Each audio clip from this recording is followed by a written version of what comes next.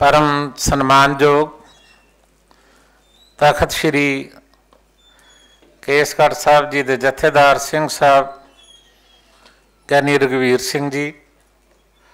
ਸਿੱਖ ਪੰਥ ਦੀ ਬਹੁਤ ਹੀ ਗੁਰਮਤਿ ਦੇ ਰੰਗ ਵਿੱਚ ਰੰਗੀ ਹੋਈ ਰੂਹ ਸੰਤ ਬਾਬਾ ਅਮਰੀਕ ਸਿੰਘ ਜੀ। ਦਮਦਮੀ ਟਕਸਾਲ ਦੇ ਮੁਖੀ ਸ਼੍ਰੀਮਾਨ ਸੰਤ ਬਾਬਾ ਹਰਨਾਮ ਸਿੰਘ ਜੀ ਖਾਲਸਾ ਸ਼੍ਰੀ ਅਕਾਲ ਤਖਤ ਸਾਹਿਬ ਜੀ ਦੇ ਸਾਬਕਾ ਜਥੇਦਾਰ, ਸਿੰਘ ਸਾਹਿਬ, ਭਾਈ ਸਾਹਿਬ, ਭਾਈ ਜਸਵੀਰ ਸਿੰਘ ਜੀ ਸਮੇਤ ਸਟੇਜ ਤੇ ਅਤੇ ਸਾਹਮਣੇ ਸ਼ਸ਼ੋਭਤ ਗੁਰੂ ਰੂਪ ਸਾਧ ਸੰਗਤ, ਵਾਹਿਗੁਰੂ ਜੀ ਕਾ ਖਾਲਸਾ, ਵਾਹਿਗੁਰੂ ਜੀ ਕੀ ਫਤਿਹ। ਵਿਦਵਾਨਾਂ ਦੀ ਸਭਾ ਦੇ ਵਿੱਚ ਬੋਲਣ ਲਈ ਮੇਰੇ ਵਰਗੇ ਸਧਾਰਨ ਬੰਦੇ ਲਈ ਤਾਂ ਬਹੁਤ ਔਖਾ ਹੈ। ਮੈਂ ਬਹੁਤੇ ਵਿਸਥਾਰ ਵਿੱਚ ਨਹੀਂ ਜਾਣਾ। ਦੋ ਤਿੰਨ ਗੱਲਾਂ ਕਰਕੇ ਹੀ ਆਪਣੀ ਬੇਨਤੀ ਸਮਾਪਤ ਕਰ ਦੇਣੀ ਚਾਹੁੰਦਾ। ਪਹਿਲੀ ਗੱਲ ਤਾਂ ਇਹ ਸੈਮੀਨਾਰ ਰੱਖਣ ਦਾ ਮਕਸਦ ਜਿਹੜਾ ਹੈ, ਉਹ ਸਭ ਤੋਂ ਪਹਿਲਾਂ ਇਹ ਹੈ ਕਿ ਉਹਨਾਂ ਪੰਥ ਵਿਰੋਧੀ ਸ਼ਕਤੀਆਂ ਨੂੰ ਇਹ ਚੇਤਾਵਨੀ ਦੇਣਾ ਹੈ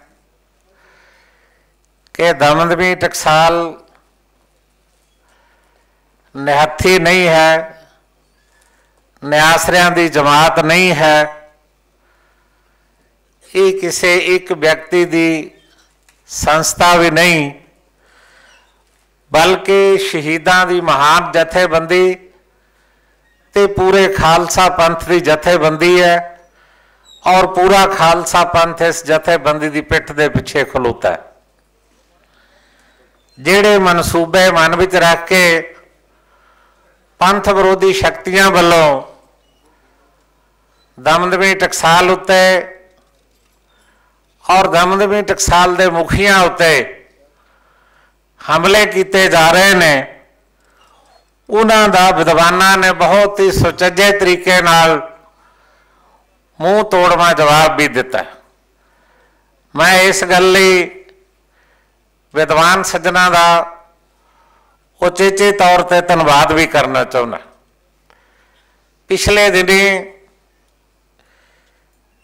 ਸ਼ਾਇਦ ਨਿਊਜ਼ੀਲੈਂਡ ਦੀ ਧਰਤੀ ਤੋਂ ਇੱਕ ਬੰਦਾ ਬਾਰ-ਬਾਰ ਸ਼੍ਰੀਮਾਨ ਸੰਤ ਬਾਬਾ ਜਰਨੈਲ ਸਿੰਘ ਜੀ ਖਾਲਸਾ ਪਿੰਡਰਾਂ ਵਾਲੇ, ਜਿਨ੍ਹਾਂ ਨੂੰ ਸਮੁੱਚਾ ਖਾਲਸਾ ਪੰਥ 20ਵੀਂ ਸਦੀ ਦੇ ਮਹਾਨ ਸਿੱਖ ਤੇ ਮਹਾਨ ਸ਼ਹੀਦ تسلیم ਕਰਦਾ ਉਹਨਾਂ ਉੱਤੇ ਬਹੁਤ ਬੇਲੋੜੀਆਂ ਟਿੱਪਣੀਆਂ ਉਹਨਾਂ ਨੇ ਕੀਤੀਆਂ ਨੇ ਮੈਂ ਉਹਨਾਂ ਨੂੰ ਕਹਿਣਾ ਚਾਹੁੰਦਾ ਕਿ ਸੰਤ ਬਾਬਾ ਜਰਨੈਲ ਸਿੰਘ ਜੀ ਜਦੋਂ ਦਰਬਾਰ ਸਾਹਿਬ ਸ਼੍ਰੀ ਹਰਮੰਦਰ ਸਾਹਿਬ ਤੇ ਸ਼੍ਰੀ ਅਕਾਲ ਤਖਤ ਸਾਹਿਬ ਵਿਖੇ ਸੁਭਾਇਮਾਨ ਸਨ 2 ਔਰ 3 ਤਰੀਕ ਦੀ ਰਾਤ ਨੂੰ ਮਿਸਿਸ ਇੰਦਰਾ ਗਾਂਧੀ ਦਾ ਭਾਰਤ ਦੇ ਟੈਲੀਵਿਜ਼ਨ ਦੇ ਰਾਹੀਂ ਇਹ ਸਨੇਹਾ ਸੀ ਕਿ ਸਰਕਾਰ ਕਿਸੇ ਵੀ ਸਮੇਂ ਦਰਬਾਰ ਸਾਹਿਬ ਉੱਤੇ ਹਮਲਾ ਕਰ ਸਕਦੀ ਹੈ। ਉਹਦੇ ਸ਼ਬਦ ਸਿੱਧੇ ਰੂਪ ਦੇ ਵਿੱਚ ਨਹੀਂ ਸਨ, ਲੇਕਿਨ ਮੈਸੇਜ ਇਸ ਕਿਸਮ ਦਾ ਦਿੱਤਾ ਜਾ ਰਿਹਾ ਸੀ। ਸੰਤ ਬਾਬਾ ਹਰਚੰਦ ਸਿੰਘ ਜੀ ਲੌਂਗੋਵਾਲ, ਮੋਰਚੇ ਦੇ ਡਿਕਟੇਟਰ ਸਨ ਪੰਥ ਰਤਨ ਜਥੇਦਾਰ ਗੁਰਚਰਨ ਸਿੰਘ ਟੌੜਾ, ਸ਼੍ਰੋਮਣੀ ਕਮੇਟੀ ਦੇ ਪ੍ਰਧਾਨ ਸਨ। ਮੈਂ ਜੋ ਸ਼ਬਦ ਕਹਿ ਰਿਹਾ, ਇਹ ਹੂਬ ਹੂ ਸ਼ਬਦ ਉਹ ਨੇ ਜੋ ਮੈਨੂੰ ਜਥੇਦਾਰ ਗੁਰਚਰਨ ਸਿੰਘ ਟੌੜਾ ਸਾਹਿਬ ਨੇ ਦੱਸੇ ਨੇ। ਰਾਤ ਨੂੰ 10 ਵਜੇ ਦਾ ਸਮਾਂ 2 ਜੂਨ ਦਾ ਸਮਾਂ ਸੀ। ਸੰਤ ਹਰਚੰਦ ਸਿੰਘ ਜੀ ਲੌਂਗੋਵਾਲ ਸਾਹਿਬ ਨੇ ਬਤੌਰ ਮੋਰਚਾ ਡਿਕਟੇਟਰ ਜਥੇਦਾਰ ਗੁਰਚਰਨ ਸਿੰਘ ਟੌੜਾ ਸਾਹਿਬ ਨੂੰ ਕਿਹਾ, ਤੁਸੀਂ ਇੱਕ ਵਾਰ ਸੰਤ ਜਰਨੈਲ ਸਿੰਘ ਜੀ ਉਹਨਾਂ ਕੋਲ ਜਾ ਕੇ ਆਓ। ਉਹਨਾਂ ਨੂੰ ਕਹੋ ਕੋਈ ਰਾਹ ਲੱਭ ਲਿਆ ਜਾਵੇ। ਉਹ ਕਹਿਣ ਲੱਗੇ, ਜੀ ਮੈਂ ਰਾਹ ਜੇ ਮੈਨੂੰ ਪੁੱਛਿਆ ਗਿਆ ਤੇ ਮੈਂ ਕੀ ਦੱਸਾਂਗਾ ਵੀ ਕੀ ਰਾਹ ਲੱਭਿਆ ਜਾਵੇ? ਸੰਤਾਂ ਨੇ ਕਿਹਾ, ਸੰਤ ਜਰਨੈਲ ਸਿੰਘ ਜੀ ਨੂੰ ਬੇਨਤੀ ਕਰੋ ਕਿ ਜੇ ਹੋ ਸਕਦਾ ਆਪਾਂ ਗ੍ਰਿਫਤਾਰੀ ਦੇ ਦਈਏ। ਇਹ ਗੱਲ ਉਹਨਾਂ ਨਾਲ ਕਰਕੇ ਆਓ। ਰਾਤ ਦਾ ਸਮਾਂ ਸੀ ਟਾਮੀ ਟਾਮੀ ਗੋਲੀ ਚੱਲਦੀ ਸੀ। ਟੋੜਾ ਸਾਹਿਬ ਕਹਿੰਦੇ, ਮੈਂ ਅਕਾਲ ਤਖਤ ਸਾਹਿਬ ਤੇ ਗਿਆ। ਬਹੁਤ ਸਾਰੇ ਸਿੰਘ ਉੱਥੇ ਬੈਠੇ ਸਨ, ਮੈਂ ਗਿਆ ਫਤਿਹ ਬੁਲਾਈ। ਸੰਤ ਜੀ ਨੇ ਖੜੇ ਹੋ ਕੇ ਸਾਰੇ ਸਿੰਘਾਂ ਨੇ ਮੇਰਾ ਸਵਾਗਤ ਕੀਤਾ। ਬੈਠਣ ਲਈ ਕਿਹਾ ਤੇ ਮੈਨੂੰ ਕਿਹਾ, ਪ੍ਰਧਾਨ ਜੀ, ਕਿਵੇਂ ਆਉਣੇ ਹੋਏ? ਕਹਿੰਦੇ, ਮੈਂ ਉਹਨਾਂ ਨੂੰ ਕਿਹਾ ਵੀ ਮੈਨੂੰ ਸੰਤ ਹਰਚੰਦ ਸਿੰਘ ਜੀ ਉਹਨਾਂ ਨੇ ਭੇਜਿਆ। ਕਹਿਣ ਲੱਗੇ, ਕੀ ਹੁਕਮ ਹੈ? ਕਹਿੰਦੇ, ਉਹਨਾਂ ਦੀ ਇੱਛਾ ਹੈ, ਆਪਾਂ ਗ੍ਰਿਫਤਾਰੀ ਦੇ ਦਈਏ। ਕਹਿੰਦੇ, ਕੌਣ ਕੌਣ? ਕਹਿੰਦੇ, ਮੈਂ ਕਿਹਾ ਜੀ, ਤਿੰਨੇ ਆਪਾਂ ਤੇ ਨਾਲ ਸਾਰੀ ਸੰਗਤ। ਸੰਤ ਜਰਨੈਲ ਸਿੰਘ ਜੀ ਕਹਿਣ ਲੱਗੇ, ਮੇਰੇ ਨਾਲ ਤਾਂ ਬਹੁਤ ਸਾਰੇ ਐਸੇ ਸੱਜਣ ਨੇ ਜਿਹੜੇ ਭਗੌੜੇ ਨੇ, ਜਿਨ੍ਹਾਂ ਨੂੰ ਸਰਕਾਰ ਲੱਭਦੀ ਹੈ। ਟੌੜਾ ਸਾਹਿਬ ਕਹਿੰਦੇ, ਮੈਂ ਕਿਹਾ ਵੀ ਜਿਹੜੇ ਇਹਨੂੰ ਸਰਕਾਰ ਲੱਭਦੀ ਹੈ, ਉਹਨਾਂ ਨੂੰ ਆਖੋ ਚਲੇ ਜਾਣ, ਲੋਕ ਛਿਪ ਕੇ ਉਹਨਾਂ ਦੀ ਗੱਲ ਬਾਅਦ ਵਿੱਚ ਕਰ ਲਾਂਗੇ, ਪਹਿਲਾਂ ਆਪਾਂ ਸੰਗਤ ਰਾਹੀਂ ਗ੍ਰਿਫਤਾਰੀ ਦੇ ਦਈਏ। ਸੰਤਾਂ ਨੇ ਦੂਜੀ ਗੱਲ ਕਹੀ ਕਿ ਮੇਰੇ ਕੋਲ ਤਾਂ ਬਹੁਤ ਸਾਰੇ ਹਥਿਆਰ ਨੇ, ਜਿਹੜੇ ਨਜਾਇਜ਼ ਵੀ ਨੇ। ਕਹਿੰਦੇ, ਮੈਂ ਕਿਹਾ ਵੀ ਨਜਾਇਜ਼ ਹਥਿਆਰ ਇੱਥੇ ਰਹਿਣ ਦਿਓ, ਜਾਇਜ਼ ਲੈ ਲਓ। ਆਪੇ ਸ਼੍ਰੋਮਣੀ ਕਮੇਟੀ ਜਵਾਬ ਦੇਗੀ ਵੀ ਨਜਾਇਜ਼ ਕਿੱਥੋਂ ਆਏ। ਤੀਜੀ ਗੱਲ ਕਹਿੰਦੇ, ਉਹ ਕਹਿਣ ਲੱਗੇ ਵੀ ਮੈਂ ਫੈਸਲਾ ਕਰ ਲਿਆ। ਮੈਂ ਇੱਥੇ ਸ਼ਹਾਦਤ ਦੇਣੀ ਹੈ। ਬੁਝਦਲਾਂ ਤੇ ਕਹਿਰਾਂ ਵਾਂਗੂ ਮੈਂ ਨਹੀਂ ਜਾਣਾ। ਜਿਹੜੇ ਲੋਕ ਅੱਜ ਟਿੱਪਣੀਆਂ ਕਰਦੇ ਨੇ, ਮੈਂ ਉਹਨਾਂ ਨੂੰ ਕਹਿਣਾ ਚਾਹੁੰਦਾ ਜਿਹਦੇ ਸਾਹਮਣੇ ਜ਼ਿੰਦਗੀ ਬਚਾਉਣ ਦਾ ਮੌਕਾ ਹੋਵੇ, ਉਹ ਹਰਮੰਦਰ ਤੇ ਅਕਾਲ ਤਖਤ ਦੀ ਅਜ਼ਮਤ ਲਈ ਆਪਣੀ ਸ਼ਹਾਦਤ ਦੇ ਦਵੇ, ਉਸ ਤੋਂ ਵੱਡੀ ਸ਼ਹਾਦਤ ਕੋਈ ਹੋਰ ਨਹੀਂ ਹੋ ਸਕਦੀ।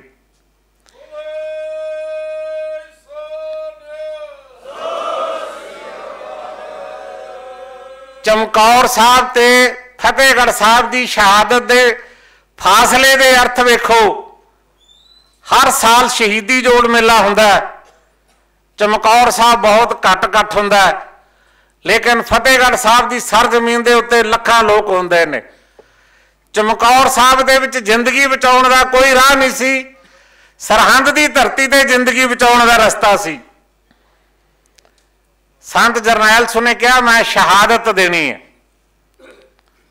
ਟੋੜਾ ਸਾਹਿਬ ਕਹਿਣ ਲੱਗੇ, ਪੱਕਾ ਫੈਸਲਾ ਕਹਿੰਦੇ, ਜੀ, ਪੱਕਾ ਫੈਸਲਾ ਕਹਿੰਦੇ, ਮੈਂ ਕਿਹਾ ਵੀ ਸਾਡੇ ਲਈ ਕੀ ਹੁਕਮ ਹੈ?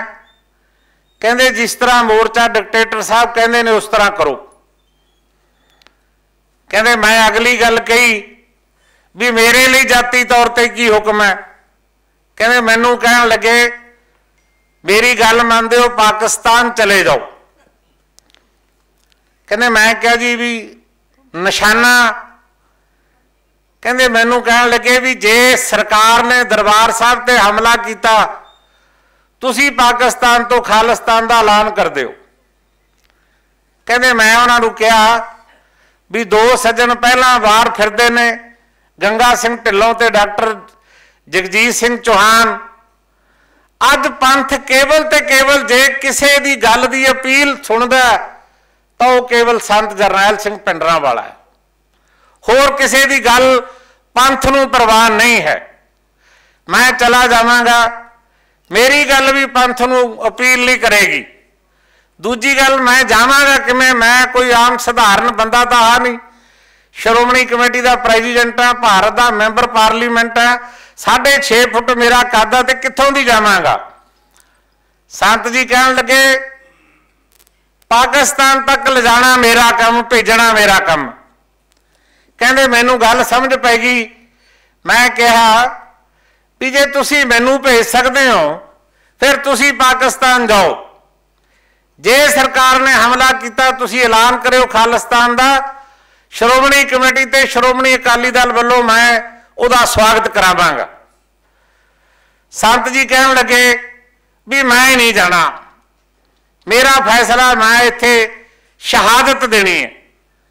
ਕਹਿੰਦੇ ਮੈਂ ਉੱਠ ਕੇ ਖੜਾ ਹੋ ਗਿਆ ਵੀ ਮੈਂ ਪੰਜ ਪਿਆਰੇ ਲਿਆਉਣਾ ਪੰਜਾਂ ਪਿਆਰਿਆਂ ਤੋਂ ਹੁਕਮਨਾਮਾ ਜਾਰੀ ਕਰਾਉਣਾ ਤੁਸੀਂ ਗੁਰੂ ਗੋਬਿੰਦ ਸਿੰਘ ਤੋਂ ਵੱਡੇ ਤਾਂ ਹੋ ਨਹੀਂ ਸਕਦੇ। ਜੇ ਚਮਕੌਰ ਦੀ ਗੜੀ ਵਿੱਚੋਂ ਪੰਜ ਸਿੰਘਾਂ ਦਾ ਹੁਕਮ ਮੰਨ ਕੇ ਨਿਕਲ ਸਕਦੇ ਨੇ, ਫਿਰ ਤੁਸੀਂ ਕਿਉਂ ਨਹੀਂ ਜਾ ਸਕਦੇ? ਸੰਤ ਜੀ ਕਹਿਣ ਲੱਗੇ, ਕਹਿੰਦੇ ਮੈਂ ਇੰਨੀ ਗੱਲ ਕਹਿ ਕੇ ਉੱਠ ਕੇ ਖੜਾ ਹੋ ਗਿਆ ਤੇ ਨਾਲ ਦੀ ਨਾਲ ਸੰਤ ਜੀ ਉੱਠੇ, ਮੈਨੂੰ ਜੱਫਾ ਪਾ ਕੇ ਕਹਿਣ ਲੱਗੇ ਵੀ ਚੱਲ ਤੇਰਾ ਮੇਰਾ ਫੈਸਲਾ ਰਿਹਾ, ਨਾ ਤੁਸੀਂ ਜਾਓ, ਨਾ ਮੈਂ ਜਾਣਾ। ਪਰ ਮੇਰਾ ਫੈਸਲਾ ਇਹ ਹੈ ਕਿ ਜੇ ਹਰਮੰਦਰ ਦੀ ਪ੍ਰਕਰਮਾ ਵਿੱਚ ਭਾਰਤ ਦੀ ਫੌਜ ਬੜੀ, ਮੈਂ ਆਪਣੇ ਸਾਥੀਆਂ ਨੂੰ ਲੈ ਕੇ ਸ਼ਹਾਦਤ ਦੇਵਾਂਗਾ ਬੋਲੇ ਸੋਨਿਆ ਮੈਂ ਸਾਬਰ ਸਾਹਿਬ ਨੂੰ ਬੇਨਤੀ ਕਰਨੀ ਚਾਹੁੰਦਾ ਸੰਤ ਜਰਨੈਲ ਸਿੰਘ ਦੀ ਸ਼ਹਾਦਤ ਮੀਰੀ ਤੇ ਪੀਰੀ ਦੇ ਸਿਧਾਂਤ ਲਈ ਸੀ। ਕੱਲੇ ਧਰਮ ਲਈ ਨਹੀਂ ਸੀ। ਮੀਰੀ ਤੇ ਪੀਰੀ ਦੇ ਸਿਧਾਂਤ ਲਈ। ਇਸ ਕਰਕੇ ਅਰਦਾਸ ਵਿੱਚ ਆਪਾਂ ਰੋਜ਼ ਪੜਦੇ ਆ ਜਿਨ੍ਹਾਂ ਸਿੰਘਾਂ ਸਿੰਘਣੀਆਂ ਧਰਮ ਹੇਤ ਸੀਸ ਦਿੱਤੇ, ਬੰਦ-ਬੰਦ ਕਟਵਾਏ, ਪੁੱਠੀਆਂ ਖੱਲਾਂ ਲਹਾਈਆਂ ਖੋਪਰੀਆਂ ਲਹਾਈਆਂ, ਚਰਖੜੀਆਂ ਤੇ ਚੜੇ ਆਰਿਆਂ ਨਾਲ ਚਲਾਏ ਗਏ। ਤਿਨਾਂ ਦਾ ਧਿਆਨ ਧਰ ਕੇ ਖਾਲਸਾ ਜੀ, ਬੋਲੋ ਜੀ, ਵਾਹਿਗੁਰੂ ਜੀ। ਇਸ ਕਰਕੇ ਹਰਮੰਦਰ ਸਾਹਿਬ ਦੀ ਅਜ਼ਮਤ ਲਈ ਸੰਤ ਜਰਨੈਲ ਸਿੰਘ ਜੀ ਦੀ ਅਗਵਾਈ ਵਿੱਚ ਸ਼ਹੀਦ ਹੋਣ ਵਾਲਿਆਂ ਦੀ ਅਰਦਾਸ ਖਾਲਸਾ ਪੰਥ ਹਰ ਰੋਜ਼ ਕਰਦਾ ਹੈ। ਇਹ ਪੰਥ ਪ੍ਰਵਾਨਿਤ ਅਰਦਾਸ ਹੈ। ਮੇਰੀ ਦੂਸਰੀ ਬੇਨਤੀ ਹੈ। ਬਹੁਤ ਗੱਲਾਂ ਇੱਥੇ ਹੋਈਆਂ। ਮੈਂ ਉਹਨਾਂ ਵਿੱਚ ਜਾਣਾ ਨਹੀਂ ਚਾਹੁੰਦਾ। ਸ਼੍ਰੋਮਣੀ ਗੁਰਦੁਆਰਾ ਪ੍ਰਬੰਧਕ ਕਮੇਟੀ ਵਿੱਚ ਬਹੁਤ ਸਾਰੇ ਨੁਕਸ ਹੋਣਗੇ। ਬਹੁਤ ਉਣਤਾਈਆਂ ਹੋਣਗੀਆਂ।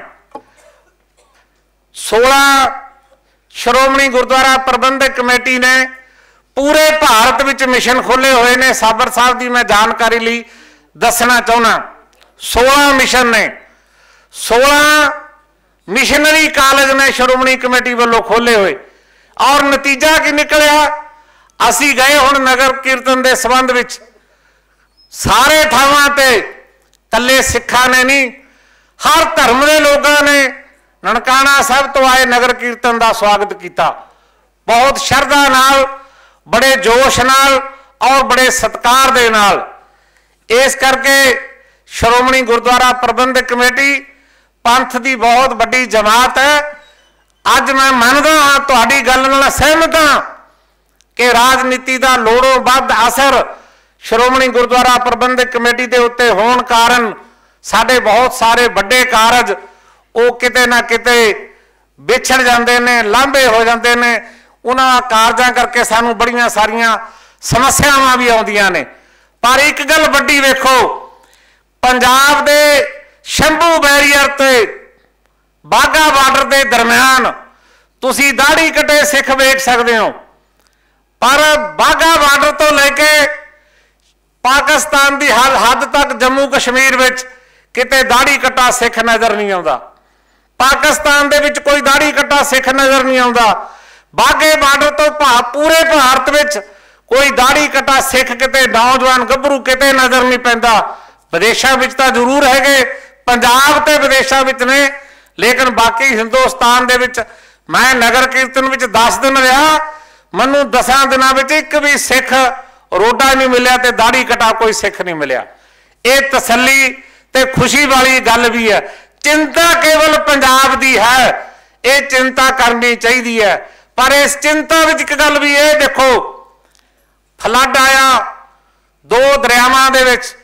ਉਸ ਫਲੱਡ ਦੇ ਵਿੱਚ ਸਭ ਤੋਂ ਵੱਧ ਲੰਗਰ ਵਰਤਾਉਣ ਵਾਲੇ, ਸਭ ਤੋਂ ਵੱਧ ਬੰਨ ਲਾਉਣ ਵਾਲੇ ਪੰਜਾਬ ਦੇ ਗੱਭਰੂ ਸਿਰਾਂ ਤੇ ਰੋਡੇ ਪੋਡੇ ਉਹ ਸੀ ਸਭ ਤੋਂ ਅੱਗੇ। ਮੇਰੇ ਵਰਗੇ ਕਿਰਪਾਨਾਂ ਵਾਲੇ ਬਹੁਤ ਪਿੱਛੇ ਸੀ, ਉਹ ਨੌਜਵਾਨ ਅੱਗੇ ਸੀ। ਉਹਨਾਂ ਦੇ ਅੰਦਰਲੇ ਜਜ਼ਬੇ ਨੂੰ, ਉਹਨਾਂ ਦੇ ਅੰਦਰਲੀ ਭਾਵਨਾ ਜਿਹੜੀ ਹੈ, ਉਹਨੂੰ ਪਕੜਨ ਦੀ ਲੋੜ ਹੈ, ਉਹਨੂੰ ਸਮਝ ਕੇ ਗੁਰਮਤ ਦੇ ਰੰਗ ਵਿੱਚ ਰੰਗਣ ਦੀ ਲੋੜ ਹੈ, ਜੋ ਮੈਂ ਮਹਿਸੂਸ ਕਰਦਾ। ਤੇ ਮੈਂ ਆਖਰੀ ਗੱਲ ਕਹਿ ਕੇ ਆਪਣੀ ਬੇਨਤੀ ਸਮਾਪਤ ਕਰਨੀ ਚਾਹੁੰਦਾ ਕਿਉਂਕਿ ਸਮਾਂ ਇਸ ਗੱਲ ਦੀ ਆਗਿਆ ਨਹੀਂ ਦਿੰਦਾ। ਇੱਥੇ ਸੰਤ ਬਾਬਾ ਹਰਨਾਮ ਸਿੰਘ ਜੀ ਖਾਲਸਾ ਪਿੰਡਰਾਂ ਵਾਲੇ ਬੈਠੇ ਨੇ।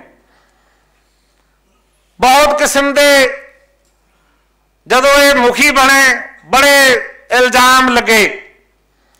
ਕਿਸੇ ਨੇ ਕਿਹਾ, ਇਹਨਾਂ ਨੂੰ ਜੀ ਕੇਪੀਐਸ ਗਿੱਲ ਨੇ ਬੁਲਾਇਆ ਅਮਰੀਕਾ ਤੋਂ। ਉਹਨਾਂ ਨੇ ਬੁਲਾ ਕੇ ਇੱਥੇ ਮੁਖੀ ਬਣਾਇਆ। ਤੁਸੀਂ ਬੜੀਆਂ ਖਬਰਾਂ ਸੁਣੀਆਂ ਨੇ। ਕੋਈ ਕਹਿੰਦਾ ਜੀ ਇਹ ਪ੍ਰਕਾਸ਼ ਸਿੰਘ ਬਾਦਲ ਦੇ ਝੋਲੀ ਚੁੱਕ ਇਹ ਗੱਲਾਂ ਤੁਸੀਂ ਅਕਸਰੇ ਸੁਣੀਆਂ। ਦੇਖੋ, ਇੱਕ ਗੱਲ ਬੜੀ ਸਪਸ਼ਟ ਹੈ। ਪ੍ਰਕਾਸ਼ ਸਿੰਘ ਬਾਦਲ ਤੇ ਲੱਖ ਨੁਕਸ ਹੋਣਗੇ। ਸੁਖਬੀਰ ਸਿੰਘ ਬਾਦਲ ਤੇ ਲੱਖ ਨੁਕਸ ਹੋਣਗੇ। ਮੇਰੇ ਵਿੱਚ ਹਜ਼ਾਰਾਂ ਉਗਣ ਹੋਣਗੇ। ਮੈਂ ਤਸਲੀਮ ਕਰਦਾ ਪਰ ਇੱਕ ਗੱਲ ਯਾਦ ਰੱਖਿਓ, ਪੂਰੇ ਭਾਰਤ ਦੇ ਅੰਦਰ ਕਿਤੇ ਨੀਲੀ ਪੱਗ ਵਾਲੇ ਦੀ ਸਰਕਾਰ ਨਹੀਂ ਬਣ ਸਕਦੀ, ਯਾਦ ਰੱਖੋ। ਪੂਰੇ ਹਿੰਦੁਸਤਾਨ 'ਚ। ਹਿੰਦੁਸਤਾਨ ਦਾ ਪ੍ਰਾਈਮ ਮਿਨਿਸਟਰ ਆਪਣੀ ਲਿਆਕਤ ਨਾਲ ਜਾਂ ਚਾਪਲੂਸੀ ਨਾਲ ਕੋਈ ਪ੍ਰਾਈਮ ਮਿਨਿਸਟਰ ਬਣ ਸਕਦਾ ਕੋਈ ਰਾਸ਼ਟਰਪਤੀ ਬਣ ਸਕਦਾ ਆਪਣੀ ਅਕਲ ਨਾਲ ਜਾਂ ਆਪਣੀ ਚਾਪਲੂਸੀ ਨਾਲ। ਲੇਕਿਨ ਭਾਰਤ ਵਿੱਚ, ਪੂਰੇ ਭਾਰਤ ਵਿੱਚ ਸਿੱਖਾਂ ਦੀ ਸਰਕਾਰ ਨਹੀਂ ਬਣ ਸਕਦੀ। ਇਹ ਗੱਲ ਦਾ ਧਿਆਨ ਰੱਖਣ ਦਾ ਯਤਨ ਕਰਨਾ ਚਾਹੀਦਾ ਇੱਕੋ ਇੱਕ ਸੂਬਾ, ਪੰਜਾਬ, ਜਿੱਥੇ ਨੀਲੀਆਂ ਪੱਗਾਂ ਵਾਲਿਆਂ ਦੀ ਸਰਕਾਰ ਬਣ ਸਕਦੀ ਹੈ। ਤੇ ਨੀਲੀ ਪੱਗ ਦੀ ਸਰਕਾਰ ਬਣਾਉਣੀ, ਕਿਸੇ ਗਾਤਰੇ ਵਾਲੇ ਦੀ ਸਰਕਾਰ ਬਣਾਉਣੀ, ਜਾਂ ਇਹ ਕਹਿਣਾ ਵੀ ਪੰਥ ਦੀ ਸਰਕਾਰ ਬਣ ਜਾਵੇ, ਇਹ ਕੋਈ ਗੁਨਾਹ ਨਹੀਂ ਹੈ। ਹਾਂ, ਕਿਤੇ ਨਾ ਕਿਤੇ ਬੰਦਿਆਂ 'ਚ ਕਮਜ਼ੋਰੀਆਂ ਹੋ ਸਕਦੀਆਂ ਨੇ। ਬੰਦਿਆਂ ਦੀਆਂ ਕਮਜ਼ੋਰੀਆਂ ਦੂਰ ਕਰੋ, ਉਹ ਕੀਤੀਆਂ ਜਾਣੀਆਂ ਚਾਹੀਦੀਆਂ ਨੇ। ਪੰਥ ਦੀ ਸਰਕਾਰ ਬਣਾ ਕੇ ਕਾਰਜ ਪੰਥ ਦੇ ਕਰਨੇ ਚਾਹੀਦੇ ਨੇ। ਤੇ ਜੇ ਸਰਕਾਰ ਬਣੀ, ਤਾਂ ਕਾਰਜ ਵੀ ਬਣੇ ਪੰਥ ਦੇ। ਕੌਣ ਬਣਾਉਂਦਾ ਜੀ ਮੈਨੂੰ ਦੱਸੋ? ਜਿੱਥੇ 35000 ਸਿੰਘ ਸਿੰਘਣੀ ਕੂਪਰ ਹੀੜੇ ਦੀ ਧਰਤੀ ਤੇ ਸ਼ਹੀਦ ਹੋਇਆ, ਤੁਹਾਡੀ ਯਾਦਗਾਰ ਕੌਣ ਬਣਾਏਗਾ? ਬਾਬਾ ਬੰਦਾ ਸਿੰਘ ਬਹਾਦਰ ਦੀ ਯਾਦਗਾਰ ਕੌਣ ਬਣਾਏਗਾ? ਫਤਿਹਗੜ੍ਹ ਸਾਹਿਬ ਦੀ ਸਰਜ਼ਮੀਨ ਤੇ ਕੌਣ ਯਾਦਗਾਰ ਬਣਾਏਗਾ? ਇਹ ਪੰਥ ਦੀ ਸਰਕਾਰ ਇਹ ਬਣਾ ਸਕਦੀ ਹੈ। ਇਹ ਅਕਾਲੀ ਦਲ ਦੀ ਸਰਕਾਰ ਇਹ ਬਣਾ ਸਕਦੀ ਹੈ। ਉਹ ਸਰਕਾਰ ਬਣਾਉਣ ਲਈ ਜੇ ਦਮਦਮੀ ਟਕਸਾਲਾ ਆਪਣਾ ਰੋਲ ਅਦਾ ਕਰਦੀ ਹੈ ਇਹਦੇ ਵਿੱਚ ਕੋਈ ਬੁਰਾਈ ਨਹੀਂ, ਇਹਦੀ ਪ੍ਰਸ਼ੰਸਾ ਕਰਨੀ ਬਣਦੀ ਹੈ। ਫਿਰ ਪ੍ਰਾਪਤੀ ਵੇਖੋ, ਸੰਤ ਬਾਬਾ ਹਰਨਾਮ ਸਿੰਘ ਜੀ ਦੀ। ਇਸ ਤੋਂ ਵੱਡੀ ਪ੍ਰਾਪਤੀ ਹੋਰ ਕੀ ਹੋ ਸਕਦੀ ਹੈ? ਜਿੱਥੇ ਜਿਸ ਪ੍ਰਕਰਮਾਂ ਦੇ ਵਿੱਚ ਬਾਬਾ ਦੀਪ ਸਿੰਘ ਜੀ ਦੀ ਯਾਦਗਾਰ ਬਣੀ, ਜਿਸ ਪ੍ਰਕਰਮਾਂ ਦੇ ਵਿੱਚ ਬਾਬਾ ਗੁਰਬਖਸ਼ ਸਿੰਘ ਜੀ ਦੀ ਯਾਦਗਾਰ ਬਣੀ, ਉਥੇ ਬਾਬਾ ਹਰਨਾਮ ਸਿੰਘ ਜੀ ਨੇ ਸੰਤ ਬਾਬਾ ਜਰਨੈਲ ਸਿੰਘ ਜੀ ਖਾਲਸਾ ਪਿੰਡਰਾਂ ਵਾਲੇ ਤੇ ਉਹਨਾਂ ਦੇ ਸਾਥੀਆਂ ਦੀ ਯਾਦਗਾਰ ਬਣਾਤੀ ਸਾਰੇ ਭਾਰਤ ਦੇ ਵਿਰੋਧ ਦੇ ਬਾਵਜੂਦ ਵੀ। ਸਾਰਾ ਹਿੰਦੁਸਤਾਨ ਪਿੱਟਦਾ ਰਿਹਾ, ਲੇਕਿਨ ਬਾਬਾ ਹਰਨਾਮ ਸਿੰਘ ਜੀ ਦੀ ਸਿਆਣਪ ਨਾਲ, ਇਹਨਾਂ ਦੀ ਦੂਰਅੰਦੇਸ਼ੀ ਨਾਲ ਬਹੁਤ ਵੱਡੀ ਯਾਦਗਾਰ ਬਣੀ ਔਰ ਬਹੁਤ ਸੋਹਣੀ ਬਣੀ, ਸਦੀਵੀ ਤੇ ਸਥਾਈ ਬਣ ਗਈ, ਇਸ ਤੋਂ ਵੱਡੀ ਹੋਰ ਪ੍ਰਾਪਤੀ ਕੀ ਹੋ ਸਕਦੀ? ਤੇ ਆਖਰੀ ਗੱਲ ਕਹਿ ਕੇ ਬੇਨਤੀ ਸਮਾਪਤ ਕਰਨੀ ਚਾਹੁੰਦਾ। ਮੈਂ ਜਾਮਾ ਨਾ ਉਸ ਗੱਲ ਦਾ। ਗਵਾਹ ਹੈ ਉਸ ਗੱਲ ਦਾ ਕਿ ਪੰਜਾਬ ਦੀ ਸਰਜ਼ਮੀਨ ਦੇ ਉੱਤੇ ਨੌਜਵਾਨ ਬੱਚਿਆਂ ਦੇ ਲਹੂ ਦੀ ਹੋਲੀ ਖੇਡੀ ਜਾ ਰਹੀ ਸੀ, ਸ਼ਿਕਾਰ ਖੇਡਿਆ ਜਾ ਰਿਹਾ ਸੀ। ਬਾਬਾ ਹਰਨਾਮ ਸਿੰਘ ਜੀ ਮੇਰੇ ਨਾਲ ਸਨ। ਅਸੀਂ ਲਾਸ਼ਾਂ ਚੁੱਕਦੇ ਰਹੇ, ਸੰਸਕਾਰ ਕਰਦੇ ਰਹੇ, ਭੋਗ ਪਾਉਂਦੇ ਰਹੇ, ਪਰਿਵਾਰ ਸਾਂਭਦੇ ਰਹੇ। ਅਸੀਂ ਪੁਲਿਸ ਸਾਡੇ ਮਗਰ ਪਈ। ਮੈਨ- ਮੈਨੂੰ ਮਾਰਨ ਨੂੰ ਫਿਰਦੇ ਰਹੇ। ਬਾਬਾ ਹਰਨਾਮ ਸਿੰਘ ਜੀ ਨੂੰ ਮਾਰਨ ਨੂੰ ਫਿਰਦੇ ਰਹੇ। ਇੱਕ ਐਸਐਸਪੀ ਅੱਜ ਇੱਥੇ ਪਟਿਆਲੇ ਦੀ ਜੇਲ੍ਹ ਵਿੱਚ ਹੈ, ਸੁਰਜੀਤ ਸਿੰਘ ਗਰੇਵਾਲ। 2.5 ਸਾਲ ਉਹ ਬੰਦਾ ਮੇਰੇ ਮਗਰ ਰਿਹਾ, ਮੈਨੂੰ ਮਾਰਨ ਖਾਤਰ। ਮੈਂ ਟੌੜੇ ਪਿੰਡ ਪਨਾਹ ਲਈ, ਸਤਵਿੰਦਰ ਸਿੰਘ ਟੌੜਾ ਇੱਥੇ ਗੁਨਾ ਗਵਾ ਬੈਠਾ ਹੈ। ਟੌੜਾ ਸਾਹਿਬ ਦੇ ਘਰੇ ਮੈਂ ਰਿਹਾ। ਬਾਬਾ ਜੀ ਨੂੰ ਬੁਲਾ ਕੇ ਟੌੜਾ ਸਾਹਿਬ ਨੇ ਕਿਹਾ, ਬਾਬਾ ਜੀ ਹਾਲਾਤ ਬੜੇ ਮਾੜੇ ਹੋ ਗਏ। ਮੇਰੀ ਰਾਏ ਆ ਤੁਸੀਂ ਜ਼ਿੰਦਗੀ ਬਚਾਓ, ਵਕਤ ਆਏਗਾ, ਫਿਰ ਦੇਖਾਂਗੇ, ਇੱਥੋਂ ਨਿਕਲ ਜਾਓ। ਕਹਿੰਦੇ ਜੀ, ਮੈਂ ਕਿੱਥੇ ਜਾਵਾਂ? ਕਹਿੰਦੇ ਜਿੱਥੇ ਮਰਜ਼ੀ ਜਾ, ਪਰ ਹਿੰਦੁਸਤਾਨ ਛੱਡ ਜਾ। ਟੌੜਾ ਸਾਹਿਬ ਦੇ ਕਹੇ ਤੇ ਬਾਬਾ ਹਰਨਾਮ ਸਿੰਘ ਜੀ ਅਮਰੀਕਾ ਗਏ। ਉੱਥੇ ਪਨਾਹ ਲਈ ਸਿੱਖੀ ਦਾ ਪ੍ਰਚਾਰ ਕੀਤਾ ਦਮਦਮੀ ਟਕਸਾਲ ਨਾਲ ਆਪਣੀ ਸਾਂਝ ਰੱਖੀ। ਜਦੋਂ ਬਾਬਾ ਠਾਕਰ ਸਿੰਘ ਜੀ ਦੁਨੀਆ ਤੋਂ ਚਲੇ ਗਏ, ਫਿਰ ਦੁਆਪ ਵਾਪਸ ਮੁੜ ਕੇ ਆਏ, ਆ ਕੇ ਸੇਵਾ ਸੰਭਾਲੀ ਔਰ ਦਮਦਮੀ ਟਕਸਾਲ ਨੂੰ, ਜਿਹੜੀ ਨੂੰ ਖਤਮ ਕਰਨ ਲਈ ਭਾਰਤ ਦੀ ਸਰਕਾਰ ਨੇ ਜ਼ੋਰ ਲਾਇਆ ਜਿਹਨੂੰ ਖਤਮ ਕਰਨ ਲਈ ਪੰਥ ਵਿਰੋਧੀ ਸ਼ਕਤੀਆਂ ਨੇ ਲਗਾਤਾਰ ਯਤਨ ਜਾਰੀ ਰੱਖੇ ਔਰ ਜਿਹਦੇ ਤੇ ਮੀਡੀਆ ਨੇ ਬਹੁਤ ਹਮਲੇ ਕੀਤੇ, ਬਾਬਾ ਹਰਨਾਮ ਸਿੰਘ ਜੀ ਨੇ ਉਸ ਦਮਦਮੀ ਟਕਸਾਲ ਨੂੰ ਮੁੜ ਕੇ ਆਪਣੇ ਪੈਰਾਂ ਤੇ ਖੜੀ ਕਰ ਦਿੱਤਾ। ਅੱਜ ਦੁਨੀਆ ਭਰ ਵਿੱਚ ਦਮਦਮੀ ਟਕਸਾਲ ਦਾ ਨਾਂ ਜਿਹੜਾ ਉਸੇ ਤਰ੍ਹਾਂ ਦਾ ਗੂੰਜ ਰਿਹਾ ਜਿਸ ਤਰ੍ਹਾਂ ਸੰਤ ਬਾਬਾ ਜਰਨੈਲ ਸਿੰਘ ਜੀ ਖਾਲਸਾ ਪਿੰਡਰਾਂ ਵਾਲਿਆਂ ਦੇ ਸਮੇਂ ਹੁੰਦਾ ਸੀ। ਸੋ ਮੈਂ ਸਮਝਦਾ ਕਿ ਇਸ ਕਿਸਮ ਦੀਆਂ ਅਫਵਾਹਾਂ ਜਿਹੜੀਆਂ ਫੈਲਾਈਆਂ ਜਾ ਰਹੀਆਂ ਨੇ, ਉਹਨਾਂ ਸਾਰਿਆਂ ਦਾ ਇੱਕੋ ਗੱਲ ਵਿੱਚ ਇੱਕੋ ਹੀ ਜਵਾਬ ਹੈ ਕਿ ਇਸ ਤਰ੍ਹਾਂ ਦੇ ਸੈਮੀਨਾਰ ਕਰਕੇ, ਇਸ ਤਰ੍ਹਾਂ ਦੀਆਂ ਕਨਵੈਨਸ਼ਨਾਂ ਕਰਕੇ, ਇਹ ਸਾਨੂੰ ਇੱਕਮੁੱਠ ਹੋ ਕੇ ਦਮਦਮੀ ਟਕਸਾਲ ਦੇ ਪਿੱਛੇ ਖਲੋਣਾ ਚਾਹੀਦਾ ਔਰ ਐਲਾਨ ਕਰਕੇ ਕਹਿਣਾ ਚਾਹੀਦਾ ਦਮਦਮੀ ਟਕਸਾਲ ਗੁਰੂ ਖਾਲਸਾ ਪੰਥ ਦੀ ਧਾਰਮਿਕ ਨੁਮਾਇੰਦਾ ਜਥੇਬੰਦੀ ਹੈ ਗੁਰਮਨ ਦੇ ਪ੍ਰਚਾਰ ਪ੍ਰਸਾਰ ਦੀ ਜਥੇਬੰਦੀ ਹੈ ਇਹ ਹਰ ਸਿੱਖ ਜਿਹੜਾ ਦਮਦਮੀ ਟਕਸਾਲ ਦਾ ਪੈਰੋਕਾਰ ਹੈ, ਇਹਨਾਂ ਸ਼ਬਦਾਂ ਨਾਲ ਮੈਂ ਫੇਰ ਬਾਬਾ ਹਰਨਾਮ ਸਿੰਘ ਜੀ ਦਾ ਔਰ ਕੌਮ ਦੇ ਵਿਦਵਾਨਾਂ ਦਾ ਜਿਹੜੇ ਉਚੇਚੇ ਤੌਰ ਤੇ ਦਮਦਮੀ ਟਕਸਾਲ ਦੀ ਪਿੱਠ ਪੂਰਨੀ ਆਏ, ਉਹਨਾਂ ਸਾਰਿਆਂ ਦਾ ਬਹੁਤ ਬਹੁਤ ਧੰਨਵਾਦ ਕਰਦਾ। ਭੁੱਲ ਚੁੱਕ ਦੀ ਖਿਮਾ। ਵਾਹਿਗੁਰੂ ਜੀ ਕਾ ਖਾਲਸਾ, ਵਾਹਿਗੁਰੂ ਜੀ ਕੀ ਫਤਿਹ।